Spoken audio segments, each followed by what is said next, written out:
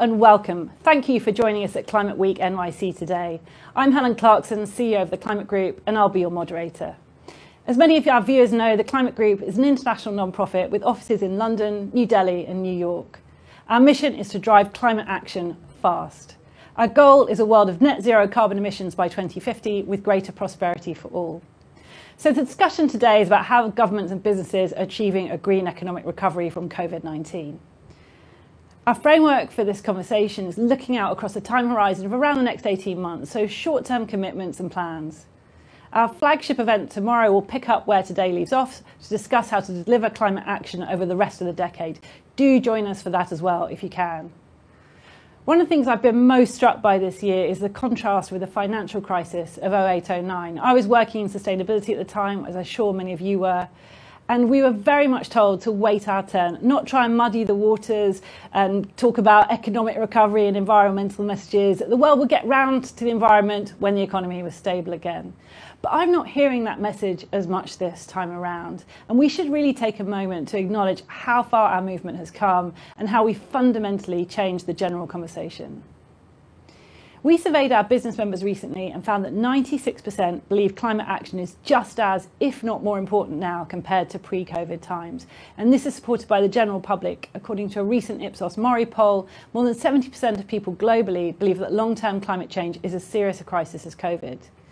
59% of our members believe that any financial support from governments to businesses should come with green strings attached, prioritising industries that cut greenhouse gas emissions and create green jobs. We've seen so much change this year. All of us made huge adjustments to our day-to-day lives and most likely the structures of our organisations. This shake-up is so important because it's allowed us to challenge assumptions and shift mindsets in an unparalleled manner. Thank you for being part of the change. And now on to today's agenda. We'll have our first panel, Green Strings Attached, supporting a low-carbon economic recovery, exploring policy responses to the pandemic and climate change.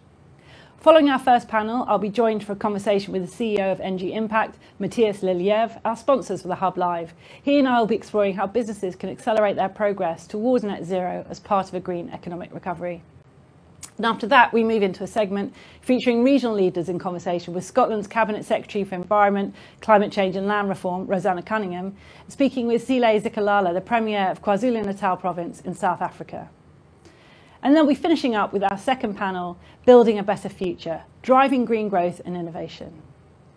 We've had submissions of questions from those of you who are attending. Thank you very much for these. And please do feel free to tweet along to the event and make sure to follow up with your peers in our chat function too.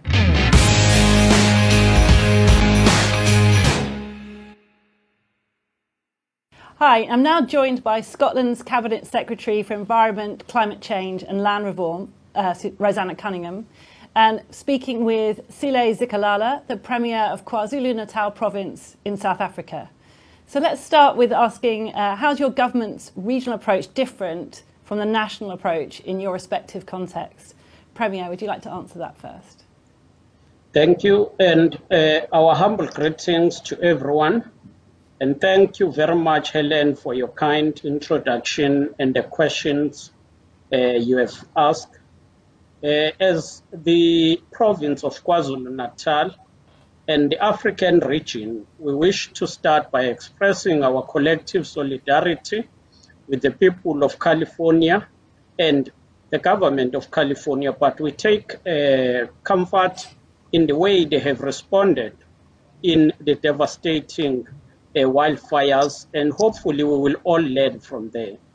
We are dealing with issues of climate change, and you will know that Africa as a whole, especially uh, ourselves in the southern Africa, we have suffered a number of uh, disasters, natural disasters, including cyclone, which take, took place last year, striking Mozambique, uh, Malawi, and, uh, uh, uh and Zimbabwe. It left more than 1,000 people dead and more than 200,000 were displaced uh, from these countries. Ourselves in the province, we suffered the storm uh, in the Easter uh, last year. I must say uh, the issue of mitigating challenges of climate change is part of our constitution as the Republic. But as the province of KwaZulu-Natal, we've launched a number of programs and campaigns that seek to respond to challenges of climate change. And that include working with local communities, creating the awareness about climate change, but also it includes the manner in which we engage with business community in the province through the KZN Growth Coalition, which is a structure that brings together the government, the civil society, and the business sector. And we work together to ensure that we adapt, and our adaptation program include ensuring that industries themselves tries to work in a manner that avoid pollution uh, in the country. We are exploring more green options through waste management, biodiversity economy, blue economy, green tourism, uh, and others. The number of researches that we are conducting aiming to ensure that we create more jobs, but ensure that we preserve the nature. Thank you. Cabinet Secretary. Um, thank you for that, and uh, hello, everybody. Um, Scotland is in a, a rather particular position, um, as are many uh, nations and regions uh, like ours. Um, we were, in fact, one of the first countries in the world to declare uh, a climate emergency. Um, and we have only in the last year um, passed legislation for Scotland because um, climate change uh, and environmental policy is an entirely um, Scottish affair. Um, our, our climate change targets are to reach net zero by 2045, um, as against the UK government's climate change targets for the whole of the UK, which are to reach net zero by 2050. So um, we are um, anticipating uh, to be there five years earlier with very challenging targets set for 2030 at a 75% emissions reduction. So you can see that from the point of view of our uh, climate change work, we've set ourselves an incredibly ambitious uh, task. Uh, and that does, uh, that does uh, uh, mean that we are on a, a rather different road to the rest of the UK and much faster. There are a number of things, however, that we're also doing um, really from our own perspective, we were the first country in the world to legislate into being a Just Transition Commission. And the Just Transition Commission um, uh, came into being in September 2018. It's been working incredibly hard, helping us enormously because we are very concerned that the climate change uh, uh, work that needs to be done in the coming years should not leave people and whole sections of populations uh, behind. It's extremely important that we take just transition enormously seriously. Um, and we've been trying to do that uh, all the way along. Um, we are able to be more ambitious than the rest of the UK because of the nature of our geography. Um, we're very much a, a, maritime nation. We have a massive coastline, uh, peatland, uh, uh, the ability to reforest in a way that perhaps is more difficult for the rest of the UK massive uh, advantage in renewable energy uh, resources.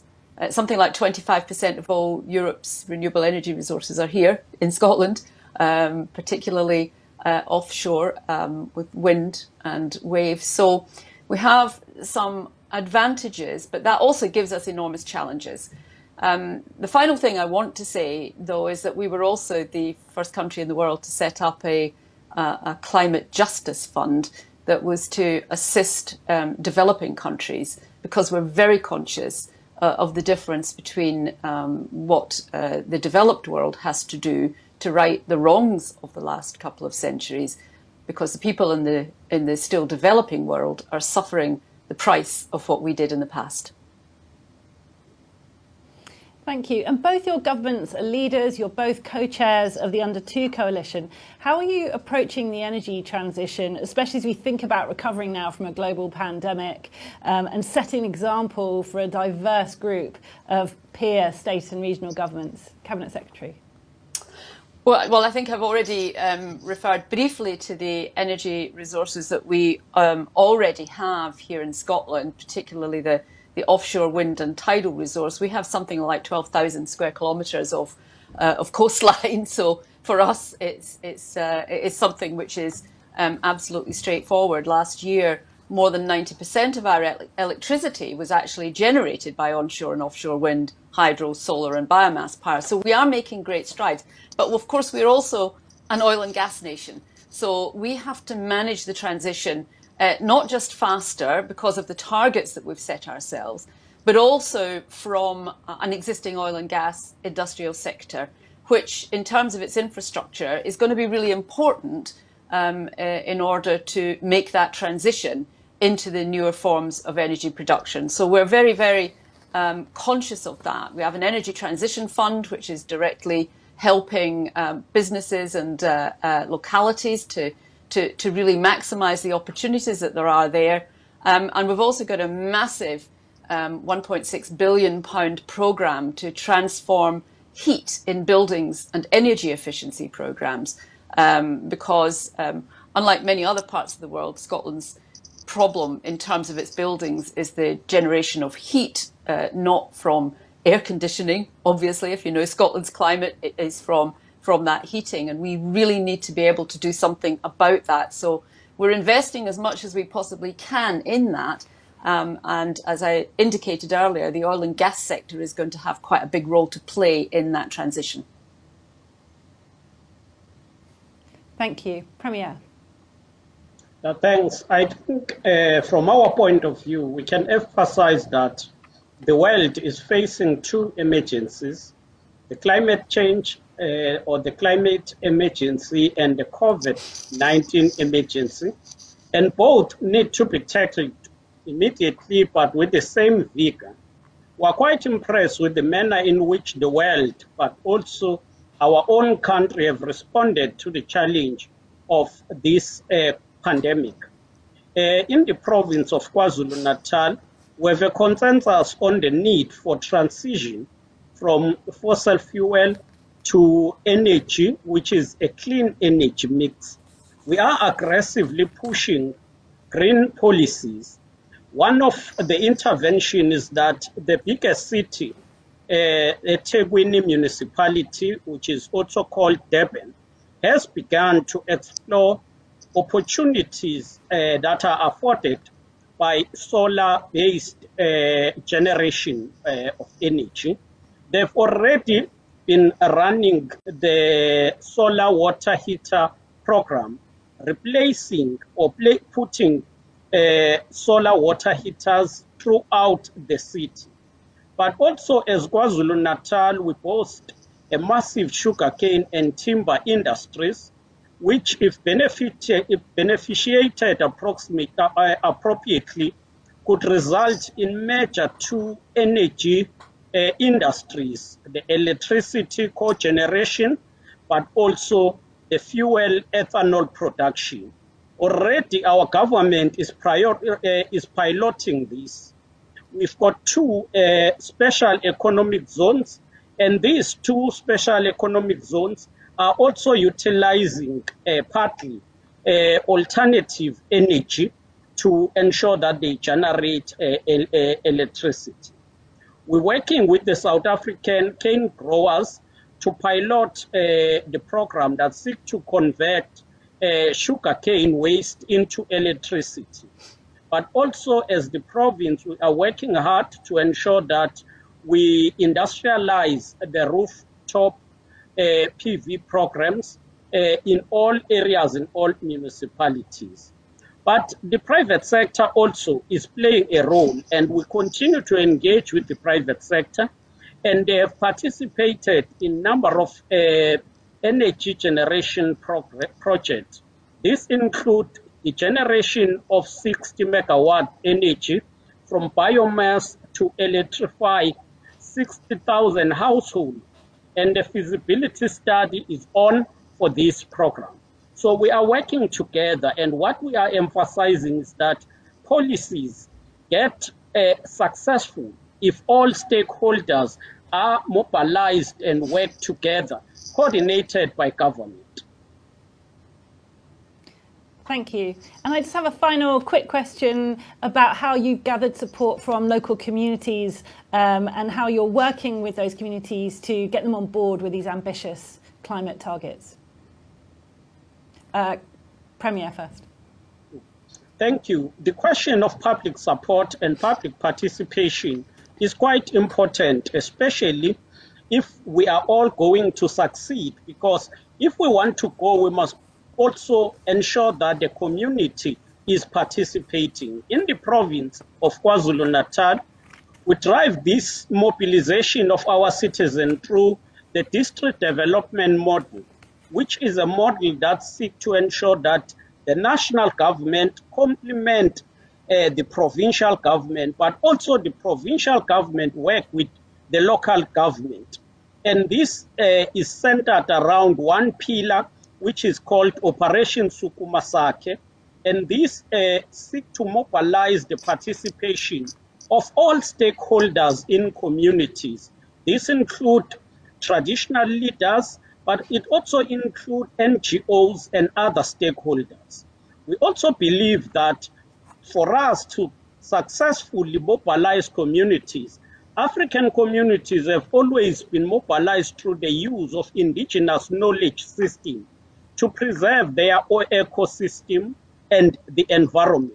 So through Operation Sukuma Sakhe, we work to bring more education and educate our people on how to preserve uh, the, the environment.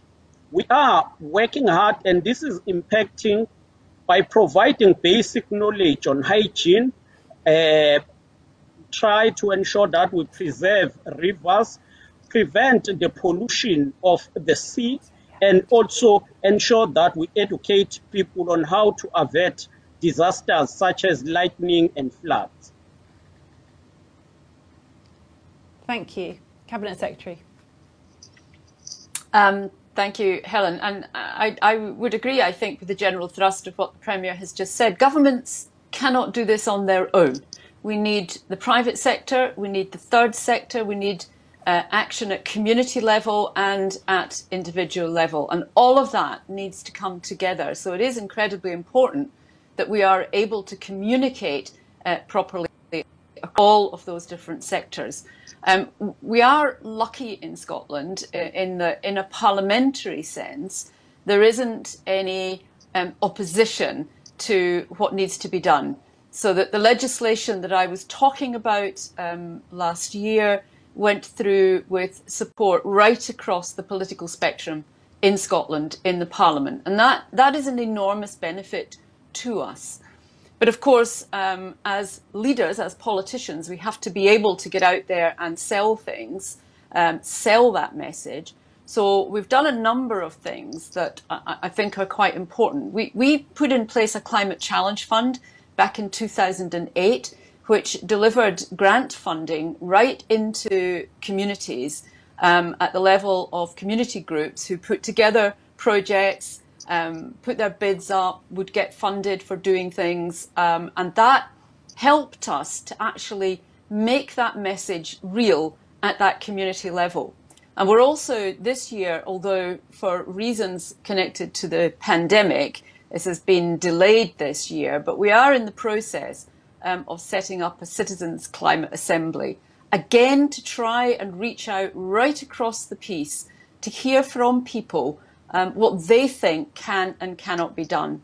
And, and we're, you know, from a government perspective, we're going to roll out hubs. And it's interesting to hear the Premier talking about what they're doing, because I suspect if we looked at it, we would find that we were doing quite similar things. Um, these hubs will allow for uh, more um, local and regional um, coordination um, of a lot of the activity, which I think is incredibly important.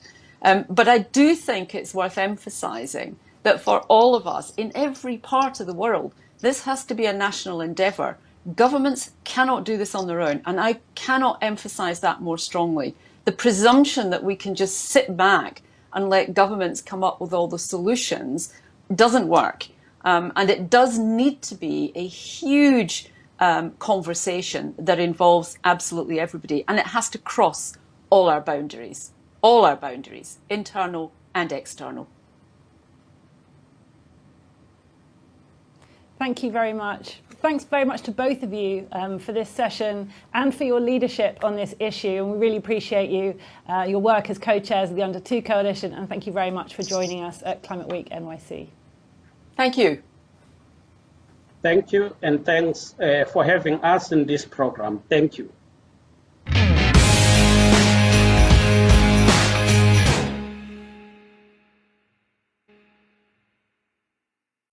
So that brings an end to our flagship session on the green economic recovery.